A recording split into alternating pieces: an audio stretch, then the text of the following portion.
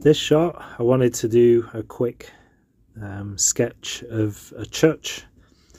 And the actual picture that I'm using as a reference is black and white anyway so I thought I'd go with that theme so it's more of a monochromatic painting just using the Payne's grey uh, a mix of Payne's grey so I'm just adding the for the darks I'm just adding more paint to water and just leaving the highlights. I like the way the highlight hits the side of the church and you've got a nice little clock face on the um, shadow side.